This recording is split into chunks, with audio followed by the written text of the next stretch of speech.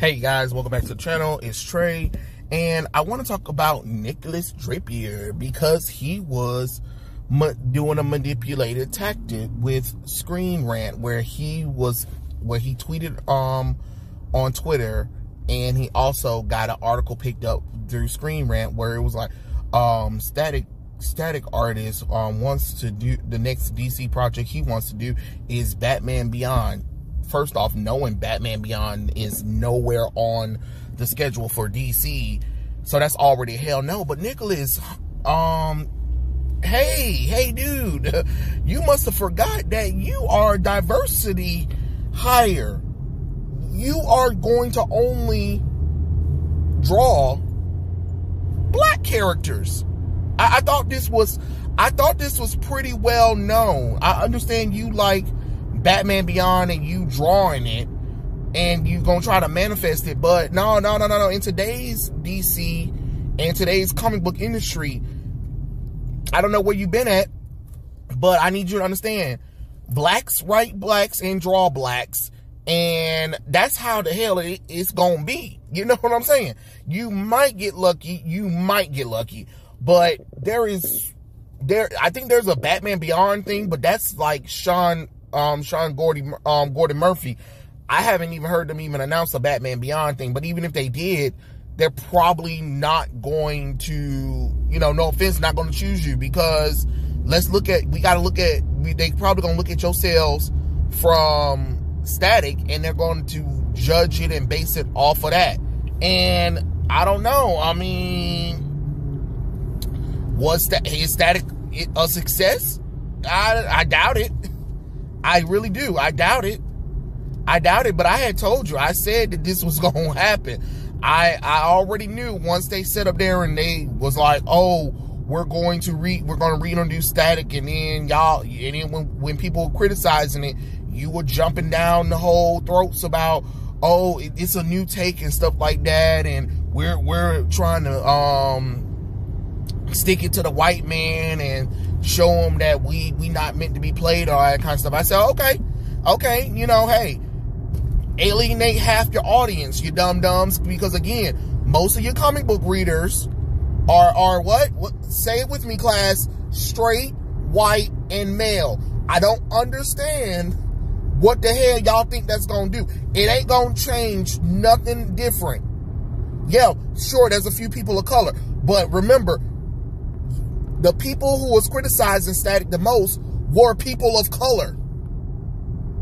So, so the the universe that's full of black people that that DC's trying to get people to read again is mostly being read by not black people.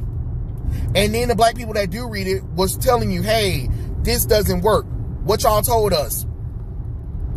There was a whole bunch of criticisms that y'all was getting and nobody wanted to change anything about anything. Y'all thought y'all was big and bad and everything, and that's that's fine. That's fine. Do whatever you gotta do, to be honest. Do what do whatever you gotta do, to be honest. But you know, y'all the ones who wanted to do static. I mean, y'all the ones who wanted to do this reboot. And I, I understand it's a job. It is definitely a job. But you have to understand that you're in a, a position. You're in a in an industry that focus solely on race and gender and politics. They don't focus. They don't, Nikolas. They don't care that you're a great artist. They care that you're black. Because if they cared that you was a great artist, you would be getting a, a lot of books by then. But they don't. They don't care. Because I can already tell you, Nikolas, there's been plenty of artists that work for DC and Marvel, hot trash ass artwork, and were getting books. And the reason why they were getting books is because it went along DC's agenda that they needed to. Or, you know what? I'm not even going to say DC. I'm going to just say comic books. The comic book industry in general. That's their agenda. That's what they wanted to do. And that's what they got, to be honest. I mean, I'm, I'm just going to be, I'm just going to be frank with you, Nikolas. I'm not about to sit up here and try to sugarcoat sugarcoat it with you. But when you accepted that, you accepted the role of being the black artist for black characters, whether you want to or not. Now you might could convince DC to let you do a a, a special issue where Batman Beyond shows up in in the Static Shock comic book, but hell, the damn book ain't doing all that damn well. To be honest, I mean, I'm just going I'm just being honest. Like I'm just gonna tell you, I'm just gonna tell you how it is because I talk to a I talk to black people who read comic books. They was like, no, they're, they're not reading Static because they think Static is boring, and they don't like the new reboot. So again, what were y'all thinking?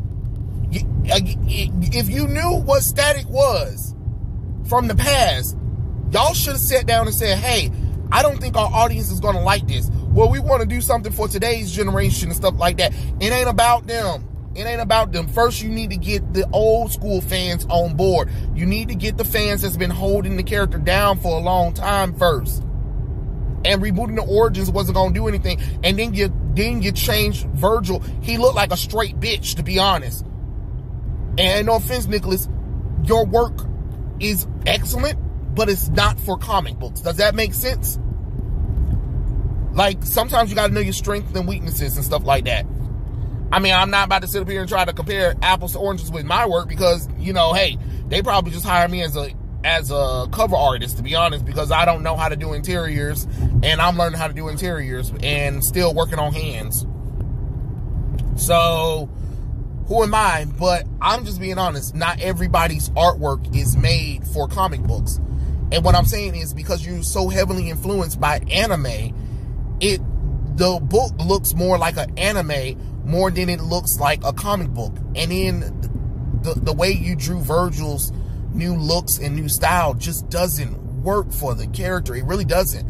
And, I, am not again. I'm not blaming you. you. You probably you probably did some designs and they probably they um the people at Milestone said, yeah, that's the style we want instead of giving a style that will actually bring people back in for the character that be like, oh yeah, now this is the static. You know what I'm saying? At least with Icon and Rocket, at least the costumes look closer to the old classic costumes that they had. You saw they got rid of that. You, you saw they got rid of of Icon's little red costume because that costume was stupid, and then they went back to the classic, um, the classic red and green outfit because you want you want the character to be familiar. The same thing with hardware, but static is completely different. And now, what you trying to hope to God that you might get Batman Beyond? I mean, again, that's great. That's great, and maybe you might. Maybe you might.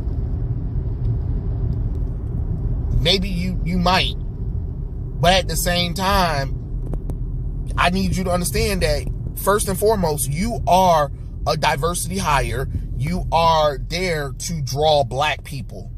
Really. That's really what it is. It is what it is. It is what it ain't. But I like the manipulated tactics. Maybe you might got something. You might got something. But I'm not going to sit up here and be like, yeah, you got something going on. Not really. Not really. Because it's just a manipulated tactics to try to to try to um get DC to be like, oh, well, you know, he's a black person. He's like yipping for static. I mean, um, for Batman Beyond. And it might work. It might work. That's why Screen Rant talked about it.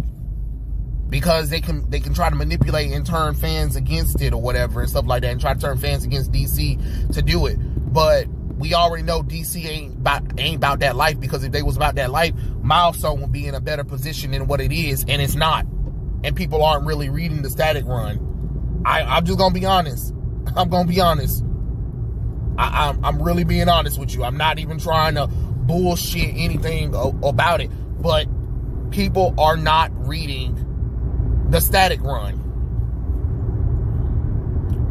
And y'all have no one to blame but y'allselves. Because I mean, I, I, saw the milestone initiative little live um, little Comic Comic Con panel. Yeah, y'all was full of shit in a damn body bag. That was already a turnoff. That was strike one. Then strike two was the looks of of statics. Strike three was the retconning of the origins. Strike four was how it was laid out. And I, am just gonna be honest, it, it just does not look like static. It's like nobody learned anything from the old classic static comic book. What what should did if you were so if you were so called of a fan of, of static, what you should have did is you should have this is what I would have did. I would have been like, you know what? Instead of rebooting him for today's generation, why don't we just reintroduce the character? That's what we can do. Let's just reintroduce him. No harm, no foul. Just reintroduce the character. That's how you do that. Reintroduce the character, pick up where pre New 52 static left off at. That's how you do that. Not gonna mention anything that happened with um the New 52 or anything. Just pretend like everything happened like it was, and you can give Static a new suit, but make sure you keep his dreadlocks the same because he needs dreadlocks. The, the, the little bitch, the little bitch boy braids that he got on, nah, not not today, not today, not today, not today. And I I, I love how you're inspired by anime and, and mangas, and this would be fine if if it wasn't a DC comic book. If you were doing your own original black anime anime character who just happened to have um, lightning powers, this could work. It it definitely could work. I can definitely see it. But for a character like Static that already has history, that already has a fan base, and then to completely change the character around so drastically, I, I don't know what y'all was thinking. And now you're trying to hopefully get a Batman Beyond thing. I mean, okay, I guess so, but you know, hey, I, I, I was trying to warn you that industry ain't ain't about that life. It ain't about that life. But you know, hey, you you got sometimes you got to learn the hard way with that kind of with that kind of stuff. But hey, it is what it is. But you know, hey, maybe hopefully you might get Batman Beyond. You never know. You never know. Maybe they might be changing or whatever. And maybe you might try to throw the race card out at them where you make them feel guilty. Be like, oh, what you trying to say? A black man can't draw Batman Beyond? No, nobody's saying that. They just want more focus on the black characters and they want black artists. I think that was that was the, that's literally the whole point of the milestone initiative that they're trying to do right now. That they're trying to get people of color, I believe. Oh God, to um apply for it. So I mean, it is what it is. It is what it ain't. But yeah, tell me what you guys think. Comments below, and I'll catch you guys later. Peace out.